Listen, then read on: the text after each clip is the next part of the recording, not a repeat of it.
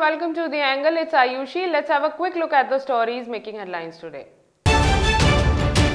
Guinea declares Ebola epidemic, declares fresh cases, reports three deaths.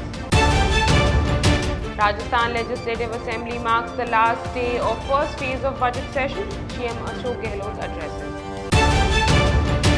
Petrol diesel price hikes, LPG cylinder prices also sees the rise, gas gets costlier by rupees 50. Sensex hits records high on strong December quarter earnings, Nifty tops 15300, indices at record highs. The pandemic has not yet ended with new strain being identified everywhere, but things are not getting any better in this world. Now, Guinea has declared an epidemic situation where the country has recorded at least 3 deaths and 7 cases of Ebola virus. The West African country had earlier in 2013 to 2016 faced a similar deadly epidemic which had taken nearly 11,300 lives. Ebola is a virus that initially causes sudden fever, intense weakness, muscle pain and a sore throat. It progresses to vomiting, diarrhea and both internal and external bleeding. Ebola spreads through close physical contact with infected people. Earlier, the country's health minister had apparently reported four deaths, which later turned to three in the official tally. The Supreme Court has issued a notice to WhatsApp and Facebook in connection with a plea challenging their privacy policy. The Supreme Court has also sought responses from both the tech companies. In its notice, the Supreme Court said that citizens have great apprehension about loss of their privacy and they think that their data and chats is being shared with others and it has to be looked into. You may be a dollar 2 3 trillion company but people's privacy is more valuable, the top court told Facebook and WhatsApp, whereas WhatsApp and Facebook have refuted the center's allegation of users' data sharing. At least 15 labourers were killed while 5 were injured after a vehicle overturned near Kingaon village in Yaval Taluka of Jalgaon district, Maharashtra on Sunday night. All the deceased were labourers from Abhoda, Kirhala and Raver in the district. They died after their papaya-laden truck overturned shortly after midnight near a temple at Kingaon village. Five labourers have sustained serious injuries and are being treated at a rural hospital. The deceased include seven men, six women and two children. Meanwhile, the truck driver has been arrested by the local police. Prime Minister Narendra Modi expressed condolences through his Twitter handle. Transport Minister Nitin Gadkari says the deadline for using the FASTag would not be extended and vehicle owners should immediately use the e-payment facility. Those who don't install FASTag in their vehicles or have a tag that does not work will have to pay twice the fee for the category of the vehicle they are driving.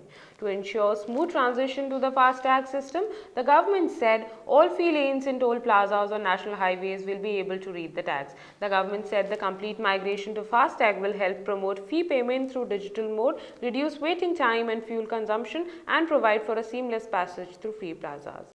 The last day of first phase of Rajasthan's Legislative Assembly budget session was marked by Chief Minister Ashok Gehlot address to the parliament.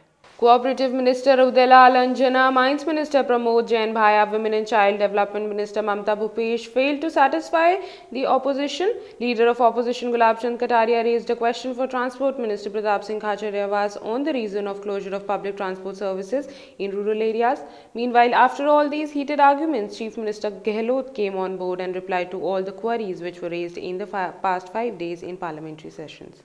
Former Rajasthan Chief Minister and senior leader of BJP Vasundhara Raje held met with BJP President JP Nadda in New Delhi. This is Vasundhara Raje's second visit to Delhi. Raje took to Twitter to post a picture of the meeting where she is seen sitting with JP Nadda. Earlier in January, Vasundhara Raje met Amit Shah in Delhi amid rumours of rift between Rajasthan BJP. During this held discussion on various issues were done like the 21st February national officials meet. Sources have revealed that Raje will attend the meet this time and most probably after that she will come back to Jaipur. Domestic equity market benchmarks that BSE and Nifty 50 were trading all-time highs on Monday. BSE Sensex was trading above the crucial 52,000 mark for the first time ever, while the Nifty 50 crossed the psychological 15,300 level. IndusInd Bank, HDFC Bank, ICICI Bank, Housing Development Finance Corporation, Bharti Airtel Titan Company, Axis Bank were among the top BSE Sensex gainers. In today's upbeat trade, ICICI Bank, Housing Development Finance Corporation, IRFC stocks touched new 52-week highs. All the Nifty sectoral indices were trading higher. Nifty Bank, Nifty Financial Services, Nifty Private Bank and Nifty Realty indices hit fresh 52-week highs. Now people will have to shell out much more money from their pockets as the prices of 14.2 kg of LPG cylinders have been raised by rupees 50 per unit. According to the country's largest oil company, Indian Oil Corporation, a gas cylinder without subsidy will now cost rupees 769. The price of a 14.2 kg LPG cylinder for domestic use will become costlier by rupees 50. This LPG price hike comes at a time when petrol prices in India are set to touch an all-time high. In various cities of Rajasthan like in Hanumangarh, Ganganagar and Jaisalmer, petrol reached rupees 98.22 per litre, rupees 99.26 per litre and rupees 97.73 per litre respectively.